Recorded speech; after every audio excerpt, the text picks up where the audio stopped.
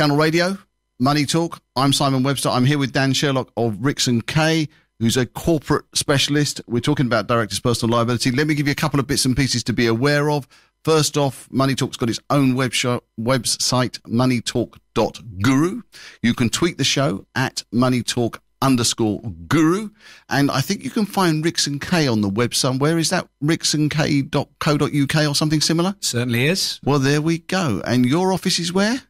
We have five of them. I'm based in Ashford and Sevenoaks. Right. And we've also got three down in Sussex, Uckfield, uh, Brighton and Hove, and Seaford. You're all over the place. It's a big business, the law these days, isn't it? It is. It is. Uh, and there's an awful lot going on. Now, next week's show, I must just remember to mention this before we before we get into this because this is a really interesting subject that I've um, I, have been looking at on and off for years myself. But next week we're talking about the general data protection regulations, and before you all cringe and say it's been done to death, let me just make one observation most people are looking at GDPR in connection with marketing and the opting in of clients and everything else. That's what they're thinking about. And they're right to, because the fines for non-compliance with GDPR are absolutely blooming horrendous. But nobody that I have heard is really addressing employment law aspects of GDPR.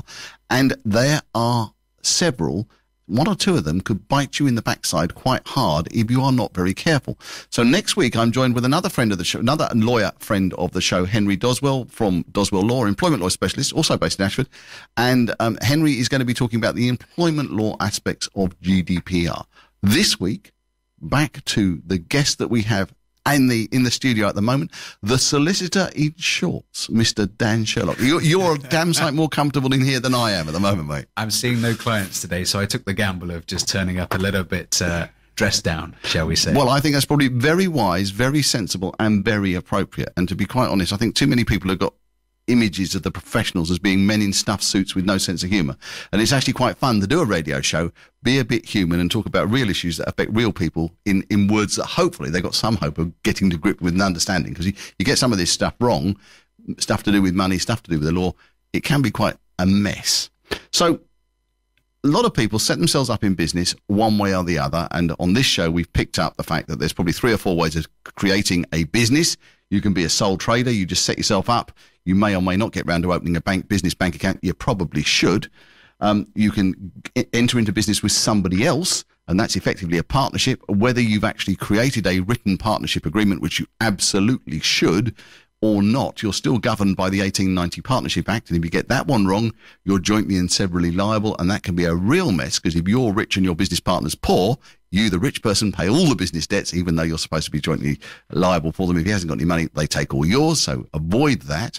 Um, limited liability partnership, a slightly interesting hybrid sitting in the middle and outside the scope of most of today's conversation, unless Dan decides to go down that path. And then last but by no means least, limited liability um, companies, private limited companies for most people setting themselves up.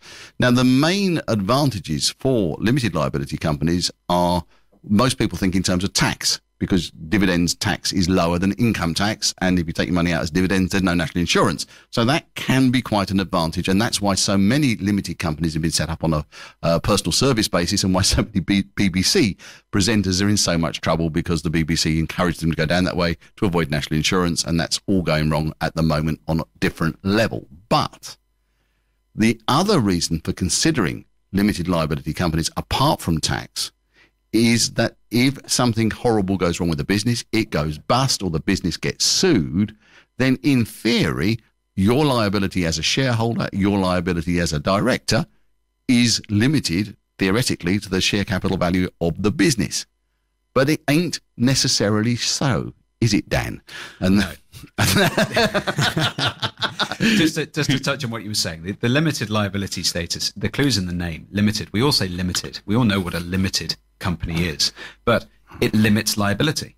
You are a separate legal personality. In the eyes of the law, your limited company, if you have one, is its own person. Yeah. It makes its own decisions. It stands on its own two feet and it has to pay its own debts.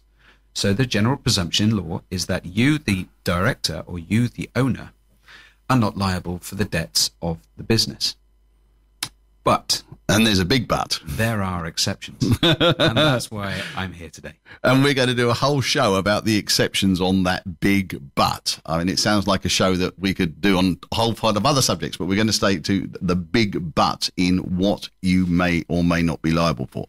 Now, it's an important point, and this is where people that don't play in this arena may get slightly confused, and it's worth just taking a minute to position this. A limited company, as Dan has said, is a legal person in and of itself. It can sue and be sued. It can buy and own real property, and land and buildings typically, which interestingly a partnership can't. And you're in the situation where um, it confers a legal status in and of itself. A limited company is owned by its shareholders, and most of us are familiar with this because shares traded on the stock market are shares in ownership in ICI or BP or Vodafone or whatever. But of course, quite often, two people will set up a company together, a husband and wife, or mates, or people who've got a shared business interest, and they will set up the company together and they will be 50 50 shareholders, a subject to which we will return because both of us have had nightmare experiences on that relatively recently. 50 50 director shareholders, a real potential issue if you don't sort it properly. But then different people run the company, the directors. Now, they could sometimes be shareholders and directors, could be the same person, but in the capacity of shareholders, they own the business. In the capacity as directors, they run the business. And of course, shareholders could appoint totally separate directors to run the business. So you've got three parties in the relationship. The limited company itself, which is an entity in and of itself, the directors who run it on a day to day basis, and the shareholders who own it. And it gets even more complicated when you put a company pension scheme alongside it and you introduce the facet of, of, of, of, a workplace pension trust or SSAS and you have trustees and you have members of the pension scheme and they could all be the same person acting in four or five different capacities. Today, we're going to talk about directors and sometimes shareholders in their capacity as owners and controllers of businesses. So we set up our limited company, and effectively these days you have what they I think they we used to call it adopting table A, and you now refer to model articles. Talk talk to us about model articles, the piece of paper that controls companies, and why it's so important, and what else you need to do around that. Well, all companies, when they're incorporated, they have to have an internal governance. This is the rule, or these are the rules that the company and its directors will follow, and that the shareholders will will sit back and say, "Well, yeah, we're not going to change these unless there's a good reason to do so." But this is this is the way it's going to be done. Whether that is regulating how the board make decisions, or regulating how uh, and when and how often the the members get a say on the the board's conduct. So the articles is key. The articles are key to the functioning the internal governance of the company. It's effectively the director's rule book, isn't it? It yes. defines the scope of the director's power to do stuff. And if they if they act outside those powers, there's a lovely legal expression which I love quoting, ultra vires. It's one of those lovely Latin expressions that for me as a non-lawyer, I enjoy knowing that I know. But acting outside the scope of your powers is actually a criminal offence in lots of issues. It certainly can yes. be a civil offence as well. So you've got to be very careful when you become the director of a company to understand what you're actually allowed to do legally because you may not be allowed to do all the things that you think you are allowed to do. So read those model articles and make sure that they cover all the things that you need to be covered. A, good example. Uh, just this morning, I was in email communication with uh, with the other side in a situation. I represent a, uh, a shareholder uh, who was a director. Mm-hmm. Uh, they came to me and said, "There's something on Companies House. It's my resignation form." I didn't resign. So I went back to the other director and I said, well, we understand that uh, they've resigned. I have it on good authority for my client that they did not resign. Would you like to point out the article within your company's governance that triggered this resignation? Because you can have deemed resignation. Yeah. The, uh, the reply was, what are, what are the articles? Can you tell me what they might be? Whoops. Yes. So yeah. we, we clearly have somebody who has no idea how to govern the, the, the company, which exposes them to uh, a presumption that they are acting uh, in a prejudicial situation, which we can discuss. Or, or, or, you could just say illegally and liable to get sued big time for proper damages. But hey, that's a, that's just my opinion. What do I know? Yeah. How did you resign a director? Not sure. Yeah, I just I just filled in this form and told Companies House in a legal declaration that this person has handed in their resignation. Or when they hadn't. That is, it's amazing, really, isn't it? When you when you actually unpick some of the things you see people doing, and and you go, why did you do that? Well, I thought I could. Why? No answer there. Dan's just sort of shaking his head. I, no, no, we, we, don't want to go down this path. I think it might get a little bit, um, whatever the word is, a little bit sus. Okay. So really, you've got to understand the scope of your powers when you are appointed as a director, read the model articles and make sure that they conform to what your understanding of your role is and that you have the necessary powers within the articles to fulfill your obligations as a director. Otherwise, you can't really act. That's understood. The other thing that you need to understand is that there is no distinction in terms of your legal liability between executive and non-executive directors. And oh, yes. in terms of the law, the, the, the law recently changed uh, to uh, bring in statutory powers uh, against uh, persons of significant control who act as de facto or shadow directors. So the law is getting savvy with people who they, they in the old days, they may put in a, a what you might call a patsy and you'll just run the company for me, but I'll tell you everything you're meant to do. Yeah. Well, the the law is caught up, and it's saying, well, if we if we see that you are controlling the company, and you are not a uh, an appointed director, we'll still come after you. So, just because you think you are not uh, on the um, you're, you're not on the list of uh, of directors appointed at Companies House, it doesn't mean that you have carte blanche authority to do whatever you want. And you can come at this the other way, can't you? Because there can be, particularly people in senior management positions who, you know, a general manager of a business is a board of directors and the general manager has got operational control of the business on a day to day basis. He is effectively de facto a shadow director. He is yes. running the business. And all of a sudden you can find that somebody in that position has actually got some measure of personal liability if he acts outside his powers or overreaches himself or makes a couple of bad decisions. So actually this whole thing about running businesses suddenly gets to be a lot more complicated than the simple veil of incorporation that I learnt about when I was at accountancy school 30 years ago or so, nearly 35 years ago. Scary thought that is is actually going out, going slowly down the Swanee. And you're now in the situation where if you act like a director, talk like a director, contract like a director, move like a director, you're liable like a director if you mess up. And that sort of raises, you, you mentioned, yes. I forgot, was uh, directors and officers insurance, which is really quite important. If you... the, just before we get on to that, the other, the other side is flip it round. Um, a managing uh, executive, if we want to call him that, yeah. managing executive may be liable as a director um, under under statute these days. The other side is why would a director want to delegate all of their executive or functional powers to a non-director? Because they still have a statutory duty as a director um, to act in the interests of the, of the, business, to exercise independence and and uh, reasonable care and skill. So if you've effectively shipped that off to somebody else, you can still be liable for your, if you want to call it negligence, but your total um, abrogation of responsibility. Abrogation of responsibility. Oh. So why would you? Uh, uh, the managing executive may think I, I, need to I need to have uh, a good look at my own powers here and whether or not I'm protected. But equally, a, a non-exec director, because that's what effectively they would be doing, is, is taking themselves out of an executive function. They themselves can still be liable. Nothing is ever straightforward these days, is it? Nothing is ever straightforward.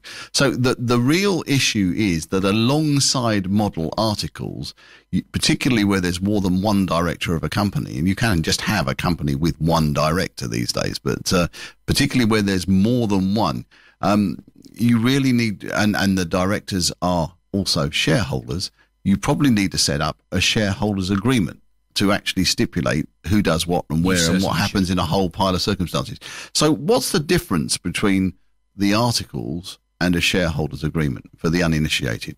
Well, they're, they're, the shareholders agreement is a contract. It's a contract between the shareholders, mm-hmm. and it tells them, well, we won't act in this way, which will prejudice you we will continue as a part, well, a partnership, a, a yeah. shareholding partnership. As, as, as, a group, as a group of people working together in business in common with a view to partner, and profit. Oh, that sounds like a partnership. Never mind. I know what you mean. It, it recognises that there are certain things that you will collectively be bound by, and that is the the, the contract between you uh, as to your ownership of the business.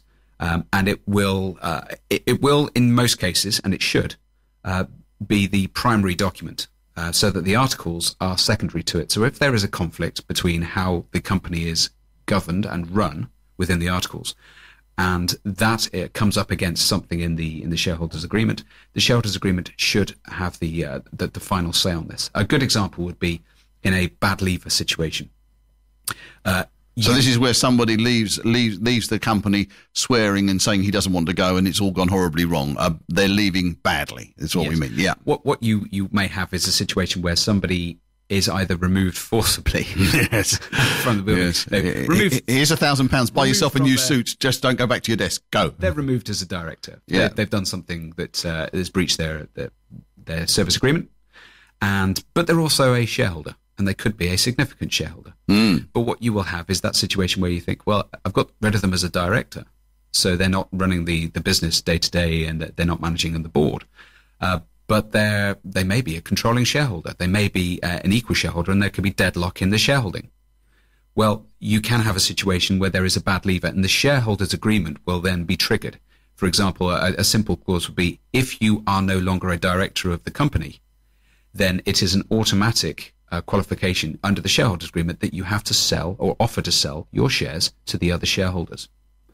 And the shareholder can't say, hold on a sec, no, no, I'm not going to sell my shares to you. The shareholders agreement is secondary. No, it's the articles which govern this. No, it's the shareholders agreement which is primary. And that should always be the case. So if you are, uh, you are in a company or you are considering it and uh, incorporating a company, um, not only get yourself uh, uh, articles which reflect what you want the company to do, rather than the off-the-shelf, the model articles, which will, will, which will apply by default. Get yourself a shareholders agreement if there is more than one shareholder. Mm. You may be equal shareholders, you may be majority and minority shareholders, but sooner or later you may have a situation where you you could be contemplating falling out.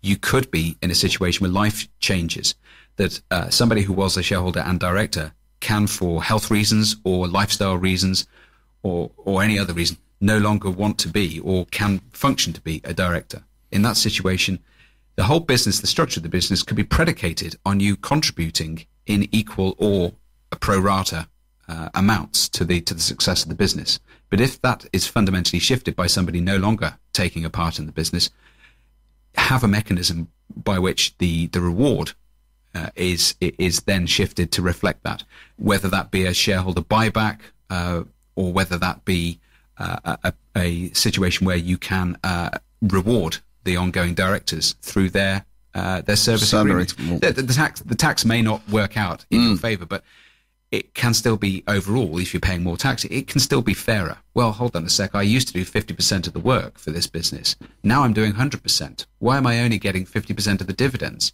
Mm. remove, have a mechanism by which you can remunerate yourself according to your your day to day input to the business.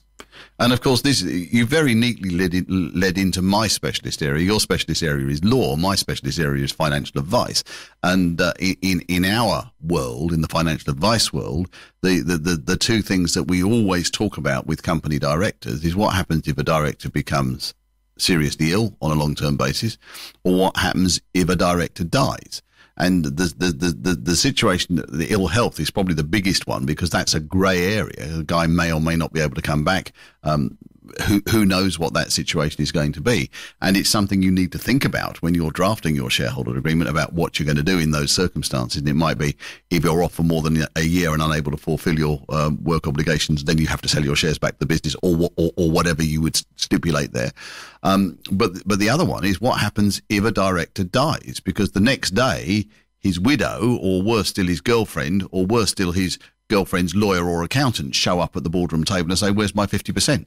And he said, Well, hang on, you've not actually contributed anything to the business. Don't matter. I'm entitled to 50% of the profits. You've got a track record of not taking salaries and paying 50% dividends. I'm not going to show up and do the work. That doesn't matter. I'm entitled to 50% of the profits and you can't take some money out that can get very messy. And we've seen this. The insurance companies who sell this stuff through financial advisors have a whole host of um, stories they can tell where companies have gone very badly wrong for, for relatively modest amounts of month, um, modest amounts of money in terms of life insurance premiums, 25, 50, 100, 200 pound a month, whatever it happens to be. In business terms, relatively modest amounts of money to protect the future of the company so that the surviving director can buy the deceased director's shares and the deceased director's family can have what they really want, which is cold, hard cash. Fair value cash. Fair value cash. And you would normally put in a, a, a valuation clause in the in in the um, shareholders agreement to say that, that, that it would either be agreed between the parties as the value of the shares, or in the event of a dispute, it would go to the company's accountants or a third party accountant or the Institute of Chartered Accountants in England and Wales, who would appoint a valuer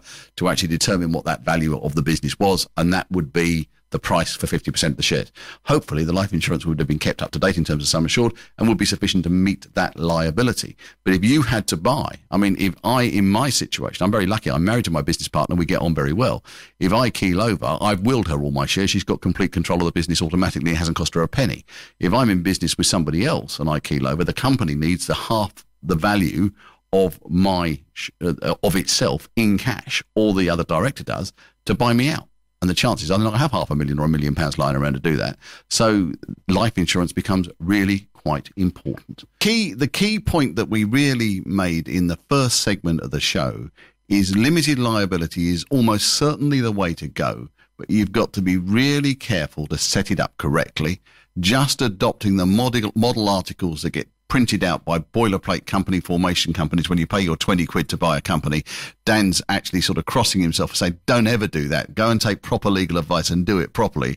Or if you buy a company on the off the shelf, at least get the perishing solicitor to go. Well, you're not a perishing solicitor. At least get a really wise solicitor, uh, preferably in shorts, to rewrite your, your model articles so that they actually make some sense. And then at the same time, and this is the really important point, put in place a shareholders agreement that's going to govern the relationship between the director shareholders in their various capacities and do it now before it all goes horribly wrong. Yes, it's all very well to say, well, these things are never going to happen. They will. Yeah. They will. People, unfortunately, die. Yeah. And families then have to pick up the pieces, one of which is, why are we not getting the same income from this business that we used to get?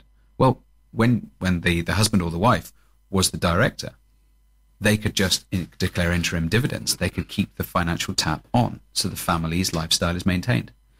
When you are no longer in the situation where you have the family member as the director, the other directors will look at this in a corporate corporate governance structure and say, well, can we can we do that anymore? Can we keep ta- um, declaring interim dividends and, and keep the, the tap on? And they may not do so. Uh, a fundamental shift like that may lead to a reassessment. What do we want to do with this business? Do we want to get in a finance director? Do we want to get in marketing directors? Do we want to run this now on almost on a proper corporate corporate, corporate basis, basis yeah. rather than as a quasi partnership? Uh, and so the, these things can change, and families who have known each other for decades can fall out. So plan ahead because mm. you you can find that this just it end up it ends up with people looking at the nuclear options, and then everybody loses. And the, and the and the real situation is, isn't it, that, that effectively, if you're in a uh, a 50-50 company or a relatively small company, most director shareholders will choose to take the majority of their income as dividends rather than salary and bonus because they pay less tax. Yes. So the, the, the, the, the, income is distributed, as they say in the trade, below the line. And it's effectively, and, and that's fine, it's perfectly legitimate, perfectly legal, nothing wrong with it at all. Everybody does it, including me. It's just normal business practice. But if you're in a situation where you've had, let's say, you're distributing income of £100,000 and each director shareholder was getting 50000 a year in, in, in, in dividend income in their capacity as shareholders, but actually in return for their work to the business, then you go to the situation where you need to pay £50,000 to somebody else to come in who's not a shareholder. Your profit goes down from £100,000 to £50,000. And the one that was re- relying on the um, dividend, who's still doing the work, has just taken a 50% pay cut, as has the uh, the widow or the um, the, the family of, of, of the director, director that's died. So it really is crucially important to make sure that you have protected your position in the event of death or illness, long term illness, because if you don't, it can go horribly wrong. And it's really important also, and I, uh, I've actually had personal involvement with a case only in the last couple of weeks where a company was set up with two 50% director shareholders. Now, if both had remained directors, you would have had a board logjam and that would have been disastrous and the company probably would have imploded and everything else. But what actually happened was one of the one of the directors stepped down and the surviving director then carried on running running the business. But then the 50% shareholder, who is no longer a director, is starting to feel that they're not getting a fair crack of the whip because the company's not making any profits. The surviving director is drawing salary, but there's no dividends. So he's put money into the business. He's not getting a return. It's so often that people don't have that honest, uh, that honest chat between themselves. It's Day well, one- you- day one. You're not turning up at nine o'clock in the morning or eight o'clock or seven o'clock, as the case may be, Yeah. you're not putting the time into the business. Why am I going to give you fifty percent of the of the profits of this business? It's not fair, Mm. and that has to be addressed at the start. Because when when you've got a, a, a- a, a cool head and you're actually looking at this, you can make an informed decision based on facts in the hope that these things never happen. Because let's face it, 99% of such legal agreements just go straight into a filing cabinet and never see the light of day. And so, and we all say amen, thank goodness, because it means that you, 99% of cases, businesses are reasonably well run and, and either they just uh, evolve over time or, or, or they just carry on. But in that 1% of cases where something horrible goes wrong, then you need to go to the filing cabinet and say, these are the rules that we agreed when we weren't fighting. We, we now have to look at this. Now you can decide that you want to be in breach of this agreement and create all sorts of fuss and you, and you can. But if we ultimately end up in court, they're going to look at this piece of paper that you signed 10 years ago when we agreed that and it's all over and you, you end up with the costs. Look at it as an insurance premium. Yeah. you you're investing at the start in commercial lawyers to draft something for you which avoids two things. First of all, it avoids you having a misunderstanding in the future because Yeah. it's already taken into account. The second thing it avoids is the cost of me, the litigation lawyer. Just have a smile on your face at that thought. Yeah, well, actually, you know, you know, Dan is actually looking uh, looking quite well fed. So obviously, there's a lot of people that are not avoiding Dan's costs. Uh, uh, uh, I, I, I, I say well fed. Unfortunately, I'm the fat one in this relationship, so I'm not. I'm not. I do. I don't mean anything else. It's not like he's. No, never mind. So we've talked about this a little bit. We've gone through. We've gone through the fact that you really need to be careful when you set up a company. It appears really straightforward online company formation agents say, give us 25 quid with your credit card and you become a company director and you own the company.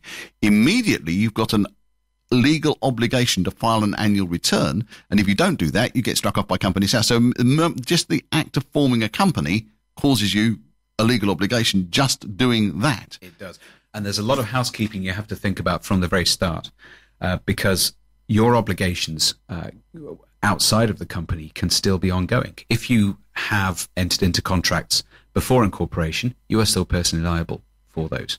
Uh, the, the, the, the thing that jumps up and bites you on the backside is the joint and several liability. Now, as a director, you won't have that, but in many cases, you're asked to give a personal guarantee or an indemnity. Don't. I, I've got what my, what my when asked to give a personal guarantee, I have one word of advice, and the advice is don't do it. Sometimes it's unavoidable, particularly if you're looking for bank finance to set up a business or whatever. You just can't get away from it, and the bank have reasonably re- re- reasonably want you to say, well, we're prepared to give you the money, but we want you to accept that if this goes wrong. You should have you should have some skin in this fight as well. You should be uh, accept some liability. And the pushback on that is if you're prepared to give me the money, why are you asking for a fail safe safety net? You have to trust me, I have to trust you. But again, some people have to give personal uh, guarantees.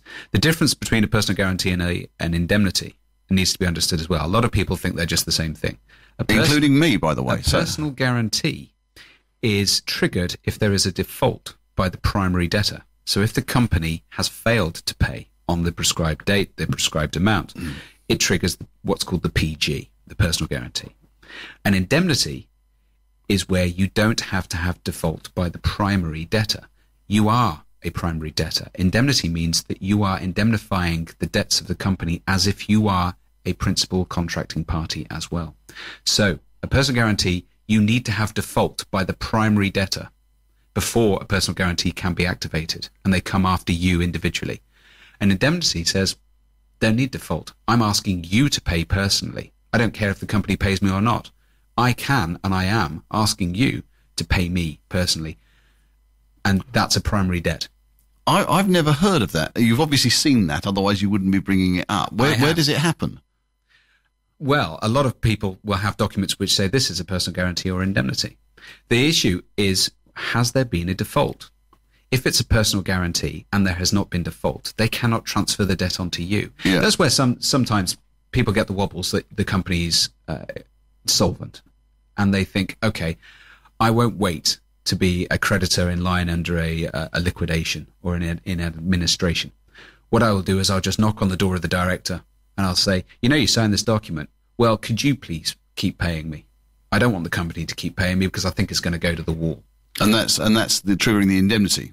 That's the indemnity. But where where because banks don't normally ask. Did the banks normally ask? They normally ask for personal guarantees, guarantees rather than yeah. indemnities. Yes, so so so who would normally ask for an indemnity? Because I've never seen one personally. They're not they're not that common. All right. Uh, so don't don't worry. It's it's it's generally the case that financial institutions will ask for a personal guarantee, but just be careful because if you are signing an indemnity, you're back to being joint and severally liable. So it's just a piece of small print to watch out if you're in business with somebody. It's a good idea. This is why all bank agreements these days require you to take legal advice before you sign them. Very much so, because there are ways in which you can challenge the, mm. the liability of a director under one of these documents. Personal guarantee. Well, where's the consideration for this? Mm. Consideration is a contractual phrase we use, which is essentially if I'm being asked to sign up as a guarantor to this contract, it must be in my personal uh, interest to do so. Where is the passing of something of value to me where is the benefit mm. to me in entering into this contract? So you can you you can fight these in different ways. But essentially, that is one way in which you as a director can be held liable if you have signed one of these documents and they hold water. That's interesting you should say that because I've actually got a client who has approached me about a personal guarantee he gave in respect of a business bank loan. And the company unfortunately ceased to trade and the bank has now come after him for, I think it's about 25, 30,000 pounds. Mm. And he's going, I had a policy. I never signed personal guarantees. I have no recollection of signing a personal guarantee. I certainly wouldn't have signed a personal guarantee. The bank's certain that he did. There's probably a piece of paper somewhere, but it will be very interesting to see um, because it will have well predated this. It was a business overdraft rather than the business loan that he's apparently on the hook for. And it'll be very interesting to see whether he did get a personal benefit from it and if there is some form of challenge that he could put into that. Because very much. And the other thing about personal guarantees is if there is no personal benefit to you as the guarantor, did you execute it as a deed? If you did, it gets round the consideration point and you can still be liable. If it was not executed as a deed, there has to be the benefit passing, the, the consideration passing. So most guarantees, if entered into as a deed, there's, there's virtually no argument on this this point because it's it's mm. a standalone document which is no longer contractual. It's a it's a it's a formal promise by deed to pay. Uh, but if guarantees are not executed properly, I had a situation where somebody actually just they printed one out themselves. They sat in a car with with the director of the company and said, "I don't reckon your company is good for this anymore. Could you key, could you sign this the dotted line?" Uh, it wasn't executed as a deed. Uh, it didn't make reference to uh, the director having a personal benefit under this separate contract and I, I ran rings around the other side on that one. So it's not the be all and end all. If someone says, "Well, you've signed a PG or an indemnity, I'm coming after you," I would like to look at that document and say, "Okay, does this thing hold water?" But that's that, that's just one aspect of personal liability, and there's there's plenty others. Uh, I don't know if we can have we got time to go into other things before you wanted to to, to cut for a, another? Well, I, am looking at my notes from our green room conversation before we uh, b- b- before we do, and we just got time for a quick story. I you you told me the story. I know, and you know that it is a legal requirement that you put your uh, place of incorporation and your company reference number on the foot of your email and on your website. That is actually, as I understand it, and I think you confirmed, but you might correct me if I'm wrong. It's actually a legal requirement that you are obliged to do that as a matter of course. Yes. Now, you mentioned a case earlier where somebody had failed to do this and it bit them in the bottom fairly hard. Fairly hard indeed. We had a situation, it was a construction contract. We had about £70,000 of debt. Uh, our client wasn't paid because the quality of the work was, was insufficient uh, for, uh, for the, the customer. Um, our client then didn't pay the supplier to them of these products saying, well, hold on a sec, I'm not being paid for this because the, the goods weren't good enough. Uh, I'm not paying you. So far, so good, you would expect.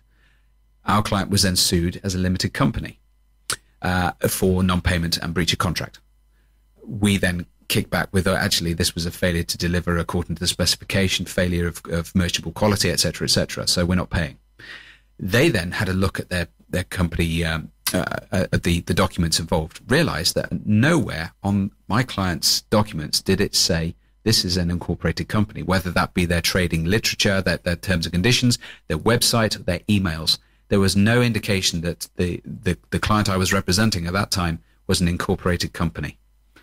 And so what they did was they then filed at court a separate claim to be joining in the director personally, which upped the ante considerably. I bet it did. And there was almost nothing I could do because they had never disclosed their trading uh, status as a limited company. Now, just, just as an interesting point of law, because I, I, I understand why the individual was joined to the action personally, but did the fact that he was joined to the action in his personal capacity void the defence that the supplied goods were not of merchantable quality?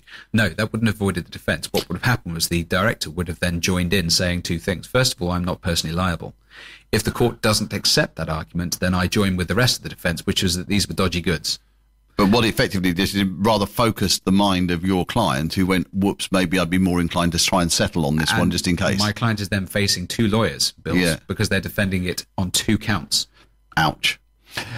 I think that's a very interesting point to make. So bear in mind, just as a, as a total by the by, when you want to mitigate personal liability as an incorporated body, i.e. mitigate your liability as a director or a shareholder if things go wrong, one of the things you actually need to do is comply with companies law and disclose your company registration number, your full company name on your website, on your email, and on your letterhead. Failure, you don't need to disclose, interestingly, your VAT number in those in, in those places. You need to put that on your invoices, but that's a separate conversation. And it's really interesting. People get very confused about this. They start sending emails out with their VAT number on, which nobody actually cares about. But hey ho, the law is a funny thing. And in the last section of the show, I thought I'd get Dan to give us a few top tips for making sure that you don't find yourself having to underwrite companies that have gone wrong with your personal money. So, Dan, what are your top tips? Go. Well, first thing to do is to have a stock take of what your duties are. As a director, know and understand them. There are certain duties enshrined in the Companies Act which uh, you don't need to read, but you might want to. Uh, about Section 171 onwards, if you really are that geeky. Uh, I'll run through them. You have to act within the powers. That comes back to uh, the powers that are set out in the articles Or in your service contract. and also in the service contract. So act within the powers that the company has conferred Yeah. on you and the members have conferred on the company. So don't enter into um, uh, contractual obligations which you have not had sanctioned by uh, your service agreement or the articles. Because if you do, you're personally liable, aren't you? And this is the You're biggest. personally liable for anything over and above the mandate that you have. You in, enter into a contract for three million pounds worth of, uh, of of goods or services. If the contract, uh, sorry, if you are mandated only for two million, then the uh, the other side can come after you personally for the million. Ouch. So make make make sure you are acting within your powers. That's top, first top first top tip. What's next? uh, to promote the success of the company.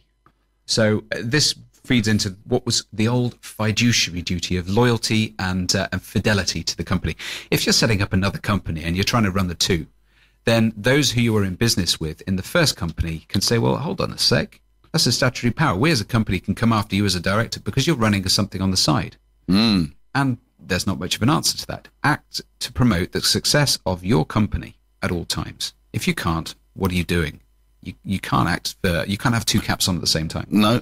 All right. Uh, running through another one to exercise independent judgment. Do not follow the chairman's decision and think it doesn't matter. He's made the decision. As a director, you have to have an input into the A governance. this license to argue with the boss actually enshrined in company law. That's an interesting one. Not a lot of people, I would imagine not a lot of people want to challenge that one too much internally, but actually it's really important because if you know that the, the, the boss is making a bad call, you really should be on the record saying, I'm really not sure we should be doing this, boss, It because of this, that, and the legal other. duty. Yeah, but yeah, yeah, a legal duty. You could get sued for not actually doing it. So Yes, you can. stuck between a rock and a hard place, big time. Uh, you've also got to exercise reasonable care, skill, and diligence. Mm. If you don't have the requisite uh, care and skill to answer a particular question, you have to go and find it from somebody. That's why people have accountants, lawyers, and other experts to make decisions. You didn't say financial advisors. I'm And deeply. Uh, advisors. thank you, Dan. Oh, I'll play the game. I'm so sorry. so this is this is where you bring in what you don't have as a skill set in the board, Mm. because as a duty you uh, you have it. So the company re- requests that you, you, you do that. Um, if you don't know the answer, find somebody who does. Yeah. And that's when you, the board can make the decision. Saying I didn't know that is not really a legitimate excuse, is it? You've actually you you're actually obliged to use your brain as a prudent man of business and say I don't know too much about that. This could be a problem for my business. I need to get some expertise in to sort it out. Yes. Running through some others as well. Avoid conflicts of interest. If you're making decisions which can reward fellow directors in a capacity as a shareholder, etc., then that could be a conflict of interest. Are you awarding a contract to your, your brother or your sister or your, your, your daughter or your son? Uh, those are situations where you may have to declare, I have an interest in this. It may not be in the interest of this company purely for me to award that contract. And that can bite you on the backside because if the company ever finds itself in a, in a, in a insolvency situation, then you as a director can be personally liable. The insolvency practitioner could look at that and say, we could have got this contract 50% cheaper from somebody that wasn't a family member. Yes. And you've just pushed the company to bankruptcy by your own foolish actions that were unfairly prejudicial. Yes. Oh, So- yes. Good one to watch. Conflicts of interest. Um, not to accept benefits from third parties. That's Oh. a lovely one. Uh, that's that falls in towards briberies. But essentially, are you doing things which are in the interest of the company, or are you personally? Mm. Ask yourself that question because if it falls into the latter, then you can be liable to the company to repay and restore any loss that the company suffers as a result of taking that decision, which was in your personal interest. There's been a recent bribery act, hasn't there, in the UK? I know about this because we've just rewritten our staff handbook for the business in the advent of GDPR, and we got a bit bigger, we got more staff. We thought we better have a look at this. Oh gosh, we haven't looked at it for ten years, and I think it was something like that. And we went through and looked at all our policies. We now got bribery policies and a health and safety policy that covers about three pages, and we work in an office. It really made me cringe. But there's all this stuff that you need to do, but it, it's not just your responsibility as an employee of a business, you've also got a sort of higher responsibility as a director that you've got to act uh, not just in terms of your internal company rulebook as communicated to you by your boss, you've got to act in the interests of the company as dictated effectively by common sense and law. And Yes. that's a far higher test. bribery isn't just awarding contracts to Southeast Asia. It can be something in the UK as well. And if the Bribery Act doesn't apply, then you can look at uh, at Section 176 that I mentioned. The company can come after you for doing something which was in your personal interest uh, that you took a bung for. Um, another thing as well, if you do make a decision that the company is rewarded for a contract, so that you know you said, well, it wasn't me personally the Bribery Act can be triggered. Now, that can, um, in a secondary way, be a decision which was taken, which was not in the interests of the success of the company, because the company can suffer a fine. Mm. So, did you take a decision which you did not re- you did not receive personal re- reward for? But you left the company exposed as a result of that decision, and that was a bad decision, therefore you're liable So for you it. get the knock on the door secondary. Ouch. Yes. So those those are running through some of the obligations you have as, as a director, statutory obligations. There are others as well. As I I mentioned, there's duties of uh, of fiduciary loyalty. So uh, these are the different types of of, uh, of claims that can be made against you. In tort, tort isn't just negligence and nuisance claims. Tort can be conspiracy to injure. If you are giving information to a rival and that rival is poaching business, you can be inducing third parties to breach a, a contract. That is a tort, and you can personally be liable for your part in that. Mm, and torties are wrong, isn't it? She's tort, Yes, not it's- a for wrong. It's, it's a general wrong. It's common law. Yeah. What has happened is the judges said, well, there's no over the last few hundred years, there's no act of parliament which prescribes for this. So I'll just create a, a a law which A precedent, yeah. precedent will be followed in the future.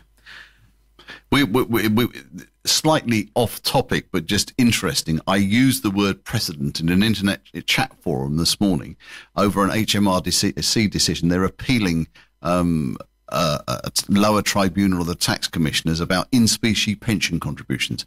It used to be possible you could make a pension, people made pension contributions in cash or in kind. So you could put a building straight into a pension contribution as long as the financial value was correct. And, you know, it was a hundred thousand pound building, you, that would be a cheap one. Hundred thousand pound building was going into the pension scheme at a valuation of a hundred thousand pounds. You could claim tax relief on that contribution.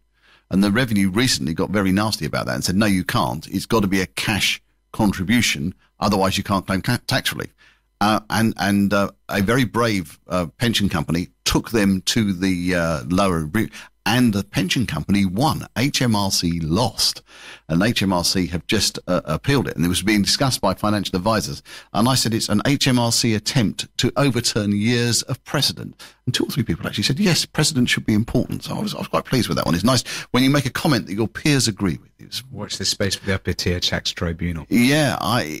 It, it's an interesting one because on if, if there's any justice, the the, pen, the the HMRC should not be allowed to define pension contributions as cash only because on the same basis, HMRC have never defined income.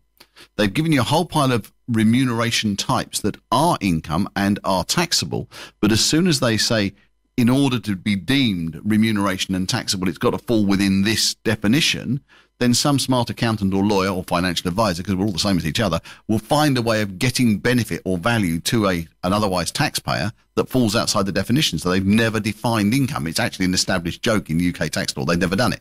So on the same basis, they can't now define pension contributions. It's it's it's not a level playing field.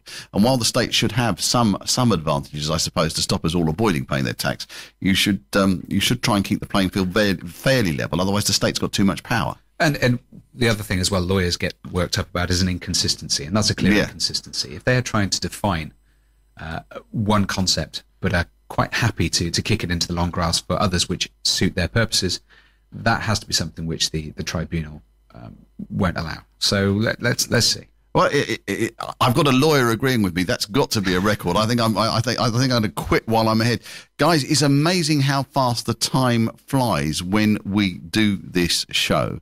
You, you think we're taking on a technical subject. How are we going to find and fill an hour with it? But in fact, Dan's made it so interesting. Thank you very much indeed. You've really got to make sure that if you set up a company, you set it up right. You don't just look at the standard paperwork that's supplied. You do something sensible and um, draw up a list of all sources of funding and a financial timetable for funding levels to be met. Keep a record of all your conversations with when you're setting up with somebody. Do this. Maintain regular meetings and minute them. And if the company is listed or quoted, comply with statutory obligations to disclose information. In case you think I'm super clever, Dan just handed me a piece of paper with that written on because he thought that was a good way to end. And he was right. So if you're going to go and set yourself up in a company, I think you should pop down to Rix and Kay and make sure that you've got your paperwork in order. And at the same time that you set up your direct to share purchase life assurance and critical illness insurance and health insurance to ensure the vi- future viability of your business in the event of the death or disability of a director. Dan, it's been a pleasure having you on the show. Thank you so much for coming in. Wonderful. It's been, Thank you. It's been great.